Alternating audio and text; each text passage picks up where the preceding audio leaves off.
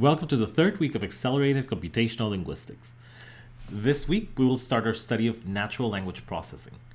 We'll turn documents into collections of features so that, that we can then feed these features into machine learning algorithms. In this first video, we'll start with a very basic application of this idea. We will perform sentiment analysis. We'll convert documents into words, words into features, and then we will use these features to compute sentiment values for the whole document. And first, let's try to think of words as bundles of features, of features that describe them. So how about this question? This has been the bread and butter of philosophers for centuries. What is a human? And in general, how would you define what a human is? One way to do it would be to come up with a system of features that set this word apart from other words. So what, what characterizes a human? For example, humans don't have feathers. They are negative for feathers. And they are bipeds. They are positive for being biped. This is a definition Plato gave once for what a human is. And this is a very arbitrary definition. But as a matter of fact, any system that we could use is fairly arbitrary. Defining a word is extremely difficult and uh, doing it with features like these is very difficult because we would need to find some correct combination. Let's see how far the system can take us. Let's try to define three words. Man, woman, and dog, for example. We could define woman as plus human, a being that is human, and someone who is plus hair, as you can see in this example, the woman has hair and the other being does not. To our left, we have man, which is plus human and minus hair, because there's absolutely no hair. Dog would be a minus human plus hair, because the puppy there does appear to have hair. This system, again, is arbitrary. This is one way to find features that fit the data that we got. And one uh, short comment, we will come back to this, but in general, anytime we have a binary feature or in general an n-ary feature, we are forcing reality into these categories. And when we do that, we are either leaving chunks of reality out or forcing chunks of reality into these categories and uh, making it so that uh, phenomena that are not neatly in these categories becomes invisible or it becomes dissimulated by this other um, feature. So we will later in the class criticize these kinds of binary systems. But for now, let's see if they can help us with this problem that we have now. In computer science, we use binary systems because we're used to them, because this is the way our computers work we could easily turn something like not being uh, human or yes being human into a zero or a one. So a woman would be someone who has the value of one in the feature of being human and the value of one in the feature of having hair. A man would be someone who has the value of one in being human, the value of zero in having hair. Likewise for the dog, the values would be zero and one. We have been using features to define words. Let's try to use them to assign emotions to words. Let's try to come up with some system where a word is characterized by its emotion features. We'll use something called the Plutchik wheel of emotion. For example, love. What kind of emotions does love conjure? Does it um, does it entail serenity, interest, annoyance, boredom, pensiveness, distraction, apprehension, acceptance? For example. Let's say we'll use the middle ring, the one that has joy, anticipation, anger, disgust, sadness, surprise, fear, and trust. Does love entail joy? Probably yes. You do these two emotions do come together. Um, how about sadness? Hopefully, those two emotions are not bundled together. In general, let's assign 1 to the feature that we do associate with the word and 0 to the feature that we do not associate with the word. love would be associated with the properties of joy and positive, for example, and it would not be associated with properties like anger or disgust.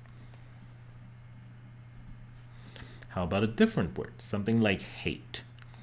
Hate could be associated with the properties anger, disgust, fear, negativity in general, and sadness. So these would have the value of 1 for those features. This is what the system, this is what the NRC word emotion lexicon does. This is a document, a text file, with about 14,000 words. And uh, the authors of this lexicon crowdsourced the emotions. So they had people uh, vote on whether love uh, was positive or negative, or joy or sadness. And uh, out of uh, crowdsourcing this with a large number of participants, they decided on the actual values of those features. The um, lexicon is here in this URL, so you can see the procedure, the exact procedure for the crowdsourcing, but it is basically this.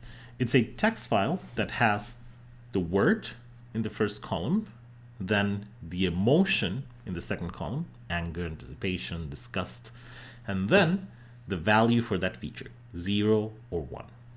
For example, in line 21, we can see that the word abacus uh, entails the feeling of trust because it has the number 1 for that feature. So how can we use this? Let's say we have a document, a series of sentences for a movie review, and the review says, I loved that movie. It was incredible and the characters were so compelling. This review is probably positive, more positive than negative. The first thing we need to do would be to tokenize it and to normalize it. So we take all the words, turn them into uh, to individual tokens, and we perform some normalization. If something has different spellings, we uh, merge the spellings into one form, um, etc. We turned it into lowercase here, for example. Once you have the tokens and you have removed the punctuation, we have removed the, the exclamation marks, we get the unique stems. The NRC document is not going to have a word like loved in the past tense, but it will have the word love in the present tense. So we need to convert the word loved into love. This is done through stemming as we studied in week one. So let's say we have the review. I loved that movie. It was incredible and the characters were so compelling. We tokenize it, we normalize it, and then we stem it to get the vector I love that movie, it be incredible, and the characters so compelling. And then we try to figure out which words in that array are present in the NRC list. We're going to find four words, love, movie, character, and compelling. And then we try to add the values for all these emotions. So in total, no words had the emotion of anger associated to them. One word had the emotion of joy associated to it. And two words had the emotion of positive associated to them. So this method correctly predicts that this review, I loved that movie, it was incredible the characters were so compelling, is relatively positive and relatively joyful compared to the other emotions. Let's look at a second review. Maybe you have, that movie's terrible. I hate it and the characters are so boring. Um, we get that movie be terrible. I hate it and the character be so boring after tokenization, normalization, and stemming of the sentence.